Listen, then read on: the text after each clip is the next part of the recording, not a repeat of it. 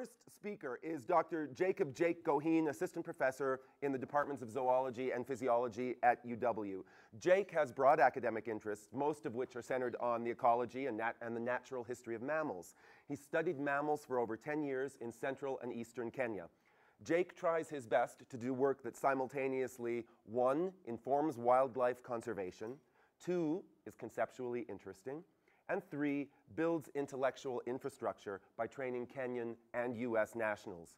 Jake's work is diverse, with research projects including the conservation of the world's most endangered antelope, non lethal control of lions preying on livestock, understanding, I love this one, understanding how trees defend themselves from being eaten by elephants, um, and here in Wyoming, investigating factors responsible for changes in moose numbers. Coming up on the plane with Jake yesterday, I learned that he is a talented bass player, um, so watch for his soon to be formed band, which will be playing gigs in Laramie and around the state, I have no doubt.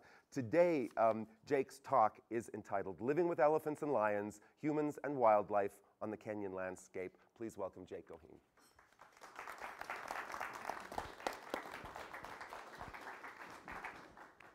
Great. Thanks, Peter. Uh, thanks all for coming. I was uh, relieved when we touched down uh, yesterday and I saw this elk mount because I thought it meant that it was okay for me to wear jeans today. Um, so that was a relief. Unpretentious, nice, small, intimate place. Um, so today I'd like to talk to you about three stories. And these three stories come from uh, work that my research group has been doing in central and eastern Kenya. And these three stories are informed by kind of the academics or the theory surrounding ecology, community ecology in particular. Um, but what keeps me interested is their applicability to real world scenarios out there real world um, environmental issues and issues in uh, wildlife management and so forth. Um, I'd like to start by uh, acknowledging our research partners, the National Museums of Kenya, Kenya Wildlife Service, and others, um, our funding agencies, and uh, these two fellows. Uh, these are uh, my field assistants, Ali and Simon. Um, when I say we today, I use uh, we in the loosest sense possible to mean they. Um, and when I say I, I mean that in the loosest sense possible to mean we. Um, so please keep that in mind uh, throughout this talk. so, um, a few kind of uh, boilerplate facts about Kenya that you might not know about. Uh, the first is that it's about 600,000 square kilometers i.e., about twice the size of Wyoming, but it has about 70 times the number of people as does Wyoming. The per capita GDP is about $800 per year. Um, if you took uh, politicians out of this equation, it would probably be about $300 per year. Uh, in contrast, that of uh, the average U.S. citizen or the average GDP per capita GDP for the U.S. is about 47 $1,000. 18% of its land is devoted to national parks and reserves. To me, this is an astounding figure for a developing country like this. Uh, in comparison, 3% of our land is. There's about 40 tribes in Kenya. They speak about 70 different languages. The three stories that I want to, ta- that I want to tell today are what we've cutely called David and Goliath. This is about elephant compression and landscape change. Incidentally, uh, I'd like to make this as informal as possible, so if ever you have questions or something's unclear, just blurt it out, please. The second story I want to tell is about cattle grazing as a tool to offset losses to lions. And the third is about conservation of the rarest antelope on planet Earth.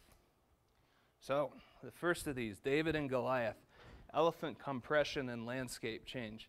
This is work that has largely been done uh, by my field assistants and myself, uh, my graduate students. This occurs at this particular property in central Kenya called Lewa Downs Conservancy, and also in the southeastern tip of the country in Tsavo National Park. in my mind, this is an example of blind luck in wildlife conservation. And the reason I say that is that initially this story was motivated by a very long standing, very simple question that we have in ecology. And that question is why is the world green? When you look at planet Earth through outer space, its terrestrial surface looks green. And about 50 years ago, a group of ecologists came up with a hypothesis that the world is green because predators, like this cheetah, by suppressing herbivores, like this gazelle, indirectly facilitate plants. The world is green because predators keep herbivores in check and help out the plants. There's a very straightforward al- alternative to this, this hypothesis. And that alternative is that plants are not these hapless victims. They defend themselves with chemicals, with spines, with thorns.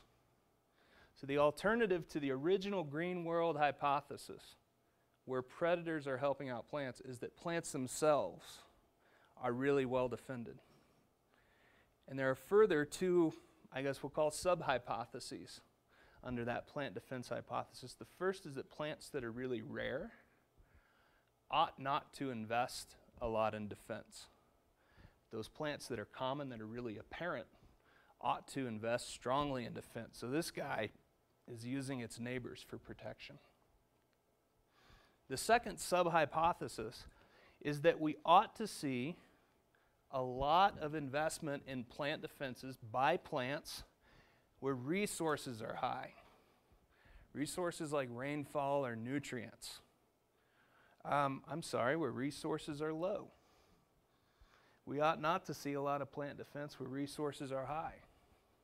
The reason for this is because where resources are low, if you're eaten by an herbivore, you have a more difficult time bouncing back. So it behooves you not to be eaten in the first place and to really protect yourself.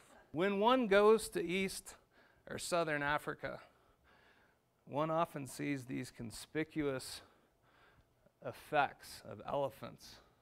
I always ask my undergrads what has happened here before we start talking about elephants, and about 90% of them say this tree was hit by lightning. In fact, this tree was clobbered by a bull elephant. It was, it was browsed, it was knocked over, and it subsequently died. So, because this effect is so conspicuous, we have this temptation to conclude that when elephant numbers go up, trees ought to go down. And when elephant numbers go down, trees ought to go up. In the system where we work, there are four relatively abundant large herbivores. Bush elephants and giraffes are what we call quote unquote mega herbivores. They're so big that they can escape predators just by virtue of their size. These guys both weigh in excess of a metric ton. In contrast, our various species of antelopes, our zebras, our warthogs, they're limited by predators. So if we think back to that green world hypothesis, predators cannot control these guys. They're too big. Plant defense is our only hope for plants. So, this is a satellite image of a ranch uh, on which I've done a bit of work. These red outlines are elephant exclusion fences, believe it or not. This ranch is well known and has had a lot of success in breeding black rhinos which are a critically endangered species. And there is a perception out there that elephants and black rhinos compete. So, what this ranch has done is build these huge electrified fences in attempt to keep out elephants and bolster numbers of black rhinos. This ranch is divided into two parts one on red soil, these are sandy soils, one on black soil, these are clay soils. derived from volcanic ash. so, you might be wondering what I mean by elephant compression. I'm not talking about the squashing of elephants. what I'm talking about is roughly 40 years ago, we had 1.2, 1.3 million African elephants, bush elephants, throughout the continent. Between now and then, the number of elephants has decreased to about half a million. But the geographic range they occupy, the amount of space they occupy, has decreased even more to about 30%. So elephants are half as abundant as they once were, but they're occurring in as in one third as much space. That means where elephants still occur, they're really abundant. They're more abundant than they have been historically. They've been compressed into these areas where they still occur.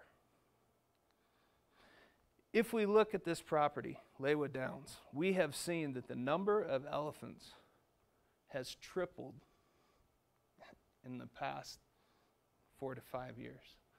That's an astounding figure.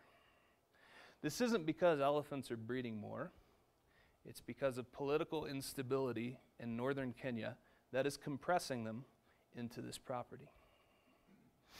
Numbers of giraffes have declined a bit, they've mostly stayed the same. Numbers of black rhino, again, this is a black rhino breeding sanctuary, have mostly stayed the same. This is what one of these elephant fences looked like. It's ran at about two and a half meters with strands of wire at about 8,000 volts. Shocking elephants to keep out of these areas. Okay. How are those fences powered? How are they powered? Big batteries. Big batteries and solar panels. So, one of the nice things that we had was a bunch of satellite images of tree cover in this period in which elephants really skyrocketed. We had a satellite image from 2003, a satellite image from 2008. So, what we did was ask the question how does this increase in numbers of elephants influence tree cover? Trees in these images are everything that's black. Each little black point represents an individual tree. And what you can see between 2003 and 2008 is that the amount of tree cover really declines in these fences or outside these fences in red soil. And it really increases inside the fences.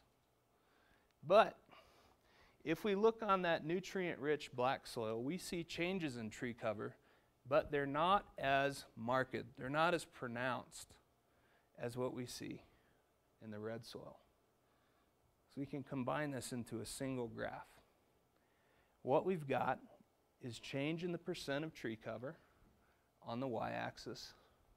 And on the x axis, we've got two different types of soil that nutrient poor red soil, that nutrient rich black soil. These black bars represent elephant exclusions. These white bars represent outside those exclusion fences. By putting up a fence, you really change the tree cover for elephants, but only on these red soils. You don't see much of a change in the black soils. Hmm. What I haven't told you is that 99% of the trees on the black soil look like this. But this tree is altogether absent from the red soil. So if you're an herbivore looking for a tasty meal, would you eat that? Perhaps not. So, in addition to these really long spines, the astute viewer will notice these black galls, these ping pong ball sized galls, from which spew tens of thousands of ants when this elephant tries to eat this tree. And if you think about elephants, they're unique. They're unique in many ways, but one of the ways is that what they eat with, their mouth, is a long ways from what they use to grab food with, their trunk.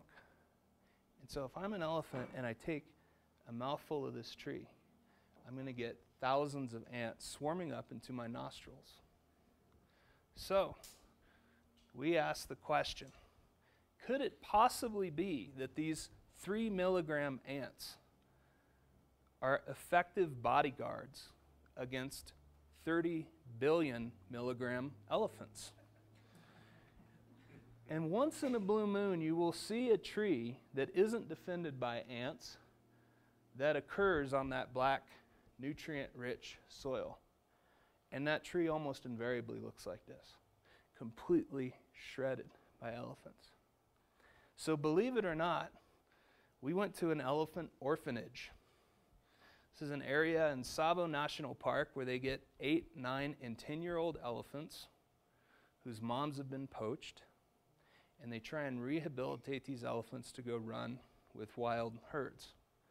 There is a giant corral to which these orphan elephants have the option of returning every night. They know they'll find food and water there. When we were working there, though, these orphan elephants came back and they found only these four piles of branches, much to their disappointment. What these four bi- piles of branches are are different cuttings from trees with and without ants. So we have that tree that's naturally defended by ants. We gave them a pile of that. Then we took that same tree, but we used machetes to hack those galls off, to remove those ants. We gave them a pile of that. Then we had the tree that normally doesn't have ants on it. Gave them a pile of that. And finally, our fourth basic food group, the tree that naturally doesn't have ants, we added ants to it. The prediction is simple, right? If ants are deterring elephants, it shouldn't matter what species of tree the ants are on, it should only matter that it has ants. So, this is punchline number two. Ants reduce the tastiness of these trees for elephants, believe it or not. So, on this y axis, we got the probability that a branch will be eaten by an elephant, the probability of use, against time. We did this for about an hour. Points that are red represent the tree that is naturally tasty. It's the tree that doesn't have ants on it in nature. Points that are black represent the tree that naturally is well defended by ants. Circles represent trees to which either naturally have ants or to which we added ants. And triangles Oh, I'm sorry. Circles represent those that don't have ants on them at all. And triangles represent those to which we either added ants or naturally had ants. And sure enough, you can see from this graph that elephants do not distinguish between the species of tree. They only distinguish does it have ants on it. This was, uh, quite frankly, pretty mind blowing to me. I was stunned that that experiment worked. Um, and I was further stunned that this actually had an application. A lot of times people say, well, what good is basic research? And oftentimes academics kind of shuffle their feet and, you know, try and change the subject. um, but um, unpredictably to us at the outset of this work was the fact that it could actually help black rhinos. And the reason for that is because we were able to go to the managers of this property and say, hey, these ants do as good a job defending your trees from elephants as do these big, expensive electric fences. Now, we could never have predicted that outcome at the outset of the work, right? But just by happenstance, by serendipity, we were able to kind of shift the flow of money, at least in parts, from erecting these huge fences to investing more in things like anti poaching squads. That's story number one. Story number two cattle grazing is a tool to offset effects of lion restoration. This is work by my student Caroline Ng'weno she is a PhD student at the University of Wyoming and in the program in ecology there. So, as I've already uh, discussed, about 20% of Kenya's land is protected in the form of national parks and reserves. The Kenyan government will reclaim land that is not used. By used, they mean devoted to agriculture in some form or livestock production. So, the long term conservation of wildlife requires creative solutions for compatibility between humans and their livestock and wildlife. Caroline works at Ol Pejeta Conservancy, which is about two hours south of that elephant work I just spoke about. She works in Laikipia District. Laikipia District is about 10,000 square kilometers. There's a lot of different private property parcels. Those parcels are devoted to varying extents to livestock production. By livestock, I mean cattle in this area, and also wildlife tourism. Conservation in this area is entirely voluntary. Laikipia District occurs outside of national parks and reserves. Astoundingly, it has the highest abundances of wildlife anywhere in Kenya, despite lacking formal protection. That's amazing to me.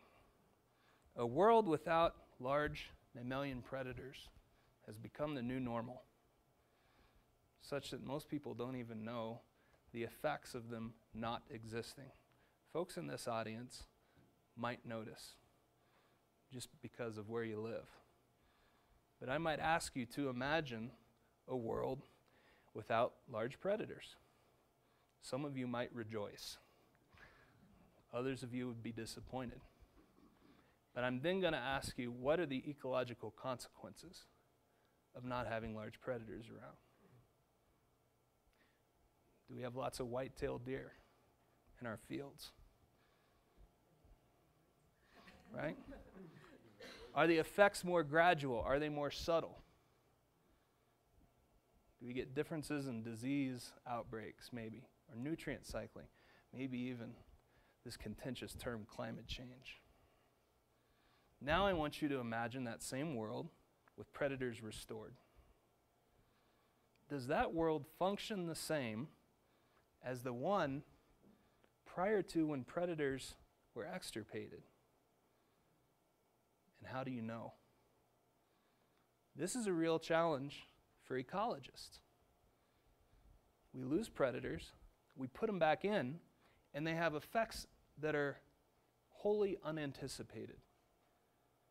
And the reason for that is because point because between point A when we lost predators and point B when we restored them, a lot of other things have changed in the environment. It makes their effects makes the effects of restoration hard to predict.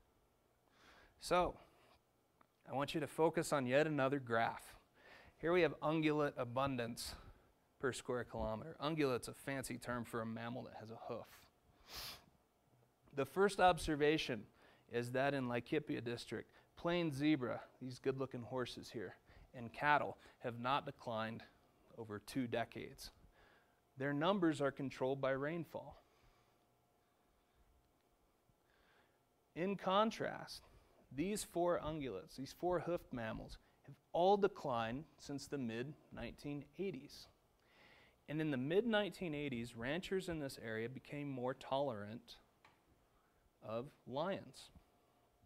They became more tolerant of lions because there was a slow realization that by having lions on their properties, they could bolster their, lives, their earnings from livestock production with money from ecotourism. So they stopped shooting lions, lions came back, and these four species declined. One might ask, is this a problem? I can't speak to that. But one thing I can say is that ranchers in this area are reconsidering re implementing lethal control of lions. They see things like hartebeest, this ungainly looking fellow here, decline, and they think, oh boy, we, need, we really need to get a handle on these lions. Okay? But at the same time, there's this tension because they know that by having lions, their tourism dollars are bolstered. So, right here. I didn't tell him to ask that. okay. Observation three zebra prefer to graze in areas where cattle recently have been corralled. So, livestock production out there is a bit different from here in that your cattle are put into a corral every single night. That corral is predator proof. It's a big chain link fence that comes up at the top that prevents lions and spotted hyenas from jumping in there. It's also protected by local herders and dogs. So, livestock losses to lions out there are not as big a deal as, say, livestock losses here to wolves or grizzlies or mountain lions. So, we create these corrals, cattle go in them for about a month, and then there's this nice ring of what the cattle have left behind. And over the course of about a year, that ring results in what we call a grazing lawn. This nice flush of green grass that function as zebra magnets. Zebra just love this stuff. So, Caroline is asking the question by changing where zebra occur with this kind of clever, proactive cattle management, can we shift the hunting behavior of lions? So, lions in this system require zebra to thrive. But they prefer to eat hartebeest. So I explain this to my students, imagine that you're at a bunch of high school kids in a high school cafeteria. They're there because it's lunchtime. And they show up and there's something just heinous to eat. Just big vats of green beans or something. but there's a single slice of pepperoni pizza. That pepperoni pizza just goes fast. But they'll still eat those green beans because they don't want to starve. The green beans are the zebra. The pepperoni pizza is the hartebeest. Okay? So the zebra subsidize the lions, but the lions prefer the hartebeest. Maybe off the topic a little bit, but what's the reason for that? Good question. Zebra are really tough to bring down relative to hartebeest. They kick, they bite, they fight. Broken jaws for the lions. In contrast, these are sitting ducks. One quirk of their biology leads us to think that we might be able to move these grazing lawns around and alleviate predation on these. And it's that these are territorial, they stay in one place. They are not attracted to the grazing lawns like zebra. So we can use clever cattle management to push and pull zebra around on that landscape, and these stay in the same places. And so, what we're trying to do is see by making these magnets for zebra, can we also push and pull those lions around? That way, everybody has their cake and eats it too. We don't have to go out and shoot lions, right? We bolster numbers of hartebeest, and we do it through proactive livestock management. Yes, sir. Uh, Now, my knowledge isn't entirely up to date, so it may have changed, but as far as I know historically, uh, you know, in the last fifty years, the Kenyan government has not allowed the human predator to play a part in sustainable utilization. So you mentioned now they're considering going back to shooting lions. But if you were to introduce sustainable utilization, which has been so incredibly successful other places Right. throughout Africa, wouldn't that be the best of all worlds? I'll answer that question when I'm not being videotaped. I'm serious. You're, you're right on. And a lot of people, myself included, agree with you. There are political reasons why that can't happen. And I'd, I'd love to talk to you after this and let you know why. That was story number two. Story, the third and final story. The third and final story is spearheaded by this fellow, Abdullahi Hussein Ali, also a PhD student at our university and in the program of ecology. Ali is working to conserve the rarest antelope on Earth. And in so doing, we are trying to build intellectual infrastructure in a political tension zone, right here on the Kenya Somali border. Ali is Somali. That means he can work here, where few others could. this is the rarest antelope on earth. This is the Hirola, Beatragus hunteri. Gorgeous animal. Long, lyrate horns. Okay? They're sometimes called four eyed antelope because they have these big glands right in front of their eyes. They're sometimes called spectacled antelope because they have this white crescent. This is a male that's in good shape. This guy's a stud. He's got these rings by his neck. When his ears move forward, those rings become more pronounced. He's got a hump right here. Okay? Now, there are about 500 of these left. Depending on how often you think about wildlife populations, 500 might, might sound like a lot. I don't know. It probably isn't, though. Um, not only are there very few Hirola, and not only are they confined to this 12,000 kilometer swath of land on the Kenya Somali border, but they're very distinct evolutionarily. There's nothing else like them. Okay? They have very few close relatives. Some of their closest relatives are those hartebeest we just talked about.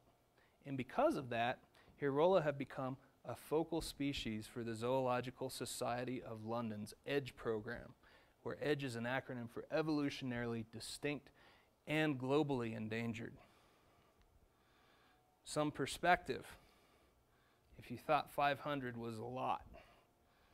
Black footed ferrets, arguably North America's rarest species. I say arguably because it could also be Vancouver marmots. There's about 700 of these in the wild, more than 1,000 in captivity. Bison, 15,000 in the wild, 10 times that in captivity or on ranches. Hirola, 450 or 430 in the wild, about none in captivity. More perspective. These are four genera of mammals that we have lost in recent memory. This rat kangaroo that occurred in northern Australia, hunted by introduced foxes and cats. This pika that occurred in southern Italy, extinct in the late 1700s, hunted by humans. This Steller sea cow occurred in the North Pacific, hunted by humans. This Tasmanian wolf, or thylacine, competition and disease from dogs. We lost the thylacine roughly in 1936. This could be our next genus of mammal that we lose. Is that, is that a compressed species? No, not at all, sir. These have always been rare. These have always been rare. You'll note the question mark. If we lose these, ironically, we'll have no idea why. Because of where these occur, and it's such a um, difficult area in which to work, we lack fundamental understanding of this species biology. It's a large mammal. This is slightly smaller than an elk. We don't know why it's declining in this day and age. We do have a, yes, sir. Have there been any efforts to try to preserve them in captivity? Yes. They do not do well in captivity, they just die. We don't know why. We do have a few hints, though. The first of these is that numbers of Hirola have declined with numbers of elephants. Hirola are these filled black circles, elephants are the white circles. Mind you, this is in a different area of Kenya than I was talking about at first. This is on the Kenya Somali border, very eastern border of Kenya. If we look at change in tree cover through time in this area, we see that tree cover has gone up. With that increasing tree cover, the Hirola's range has collapsed. It's gotten much smaller. What we think might be occurring here elephants were poached out of this area in the 1970s, right when political turmoil was at its peak in this area. Following elephant declines, trees have increased. These trees are not defended by ants they increased. They converted open grassland to woodland. Hirola are an open grassland specialist. We suspect, but don't know, that the decline of elephants in this area has triggered this decline in the range of Hirola, the collapse in the range of Hirola. There is hope. Normally, as an ecologist, when I see a story like this, I think this is tragic, but this thing is on its way out. Let's not spend a lot of time and money on it. This is an exception for me. It's exceptional because this species has a near mythological status with Somali herders in this area. And that is because where range quality is good, you will see Hirola and you can put your cattle there. And as far as we know, they don't compete. There was a property set up called the Ishaqbini Community Conservancy, about 47,000 hectares, 8,000 of which were, for, were um, kind of a sanctuary, a low grazing area for livestock. In Ishaqbini, we have a third of the world's population of Hirola. Recolonization of predators, specifically cheetah and wild dogs, may be suppressing recruitment of Hirola calves in this area. So again, we have this predator restoration that has this unanticipated consequence. So, there was a sanctuary recently established as a source for future reintroductions for Hirola. 48 Hirola, about a tenth of the world's population, was moved into that sanctuary and they're housed there. As scientists, we can ask the question okay, given that we've just put a bunch of Hirola in this predator proof sanctuary, are predators really depressing their numbers? Or is this just something that people assert? So, we collect data on their demography, namely their survival and the recruitment of calves. We collect it to understand the relative importance of predation and grass quality in driving those Hirola numbers. So we have three situations inside that sanctuary, where there are Hirola and some other wildlife, but no predators. Outside the sanctuary, but inside that Ishaqbini property, where there are Hirola and predators like cheetah and wild dogs. And then outside Ishaqbini, where we have Hirola, predators, and livestock. This approach allows us to kind of separate, to disentangle the effects of predators versus the effects of range quality on numbers of these guys. After we collect this data, we can incorporate it into national conservation plans. There has been very, very little data in the conservation plans for Hirola because of how difficult they are to work on. We can then provide insight into our biggest bang for the buck to guide future management interventions. We could focus on stopping poaching. These guys are collecting snares that often are targeted towards things like giraffe and warthog, but incidentally, they'll catch Hirola. We can think about prescribed burns as a way to bolster Hirola numbers. The next bit of data we collect is data on habitat selection and movement. We do this to understand how plants and other habitat variables translate into the survival of Hirola and the recruitment of their calves.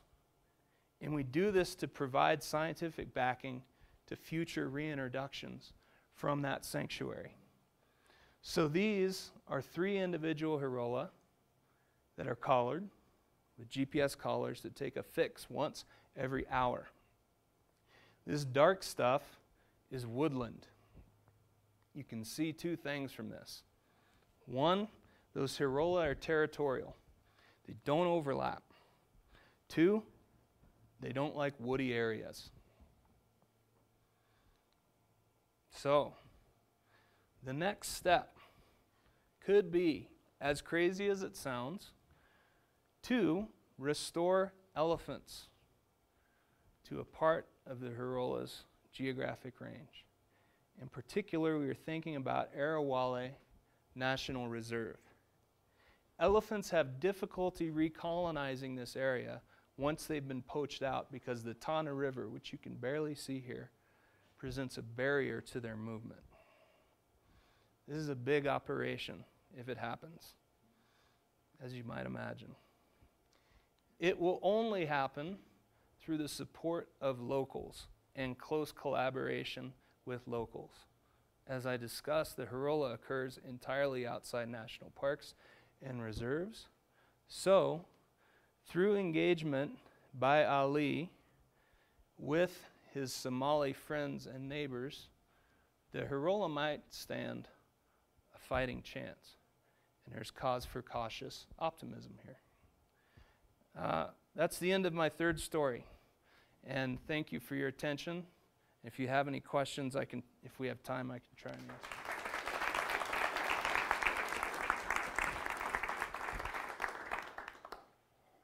Is there a poaching problem with the? That's a good question. We don't think so for a few reasons. Or if there is, we think it's probably of less importance than the range quality and potentially the recolonized predators. The reason for that is that Somalis don't like to eat bushmeat. They would rather eat a cow or a goat or a sheep that they raise. Once in a while, when desperate times come, they will set snares, but with those snares, they are not targeting Hirola. They're targeting things like warthogs and lesser kudus, the striped antelope, even giraffes.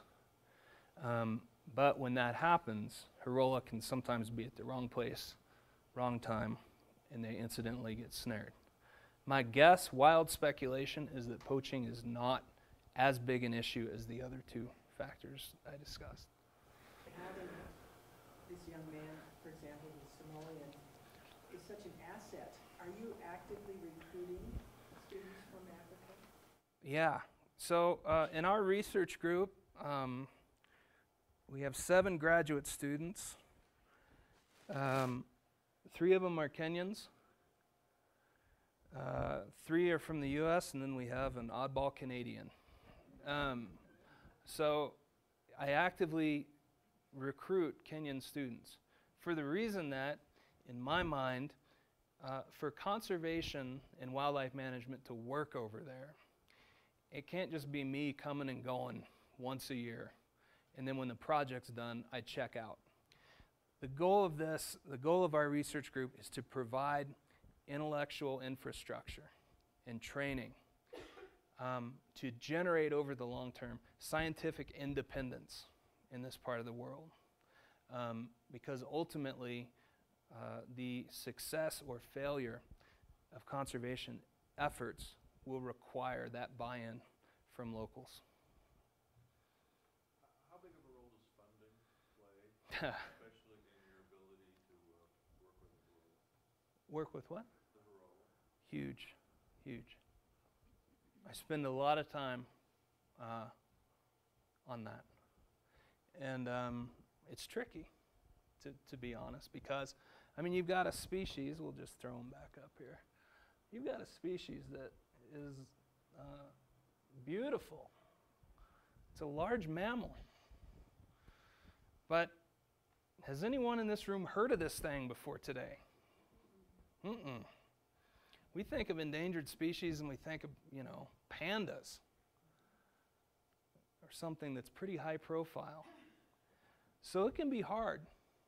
I mean, in my mind, this thing's charismatic, but it's not high profile. So it can be difficult to articulate the plight of this species relative to things that are more familiar. Yes, sir? Within the communities of the, the ranchers who graze their cattle, you said it had a mythic status. Is it Mm. well known there then? Is there more? Very much so. But for lack of a better term, these people are dirt poor. They do not have the luxury. Um, they do what they can, um, but financially, doing something like um, uh, an operation like this or an operation like this, they, no, they can't do it. hmm In your research, when you're talking about conservation of endangered species, do you find that the people with whom you speak just all accept conservation of an, of an endangered species is a good, just an inherent good? Or do you have to talk about, and how would you talk about the Right. value of preserving endangered Good. species? Really good question. I could go on on that, but I'll try and make it a bit short and sweet. Um, uh, yes, Ide- I, I, I, yes, ideally. Ideally. Like, I bet I could ask folks in this room are you, you know, do you, do you think we should prevent endangered species from going extinct? Most people would be like, yeah. And then I could ask them, do we think, you think that we should prevent them from going extinct if there's an economic cost with it? So the question, the more interesting question is, to what degree will you allow yourself to be inconvenienced by something to see it persist? And the farther away from it you are, the less inconvenience you will suffer. Witness wolves and grizzlies in this state. 90 to 95% of the U.S. wants them around. But the 5% who doesn't lives really close to them. That's not an accident. Yes, ma'am. What's the gestation period of like a roe and how many young do they have a year? They usually, if they're lucky, they pull off one a year. Gestation, ah, wild guess. I would guess about six months, six to eight months. That's part of the problem, but that's not unusual for a large mammal that size. Right, right. Those three scenarios, you, the, I didn't understand if they started to be set up or were going to be, where you have the, the cattle, the three mixes versus two versus the one.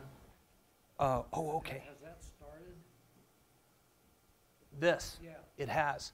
That predator proof sanctuary was built last year, and the Hirola were moved into it about 10 months ago in August, in August 2012. You're probably not getting any clues at this point in time as to what, what might be happening. That's correct. It's too, it's too short, which is another thing that drives managers and the public crazy, I think, about science. Scientists, for better or worse, are very careful. Things take a long time. With their reduced numbers, and particularly the 48 that were isolated, could Uh-huh. inbreeding be adding to their demise? Hmm. Good question. We don't know the answer to that. With the ones that are inside the sanctuary, the goal is three years from now to reintroduce those animals, to reintroduce sanctuary bred animals. So you don't, we shouldn't have an inordinate amount of inbreeding inside the sanctuary. With respect to your broader question, when you have a population of small, isolated individuals, you bet inbreeding could be an issue. And we don't, and we don't know about that. Sounds like you speculated on maybe two potential reasons for the Hirola to be declining, and there's some urgency, it sounds like, hmm. to get it fixed. And one is the predators, and then the others has to do with the elements and the environment, the trees. Correct. Can you separate the, uh, the timber out in this, in, with this slide here? Is the amount of timber and grassland the same in all of these, um, Right. When trees encroach in this area, it usually is accompanied by a decline in the grass. But there are other reasons why grass quality can decline, one of which is you have too many goats and sheep in the area for too long a period of time. Um, in terms of separating the effect of tree cover by itself, independently of other changes in grass quality, we cannot do that. The best we can hope for is to take our telemetered animals and just ask the question where do they go? Do the ones that on rare occasions stray into woods, do they incur a cost? Do they die quicker? Do they have less kids? So, with respect to the actual um, influence of timber, we're left with this kind of observational approach rather than the experiment. It it doesn't sound like the elephant, reintroducing elephants is a done deal. Absolutely not. So is there a way to, and harvesting timber can be economically profitable. Right. Can can possibly do that with these environments and to introduce a fourth environment, another right. variable so you can figure it out sooner. Right. Um, Sorry, I'm a visitor here, so maybe this No, that's a that's a that's a great question. Um, one, we could. That's a good idea. We could do it. Um, one of the tricks, it's a great idea, and I'll think about it. One of the tricks is that this area is very sparsely populated, and these woods are huge. The amount of woods you would have to clear to see an effect is probably pretty big. Um, you know, to, to clear a few hectares or something and have that show up on the radar of a Hirola might be a stretch, but if you could clear few thousand, you might get an effect. One of the things that you can do to do that that's a little more um, time efficient is burning to some extent. Good question. Yes, sir. If you would allow me a comment rather than a question. By all means. In my opinion, Mm-hmm.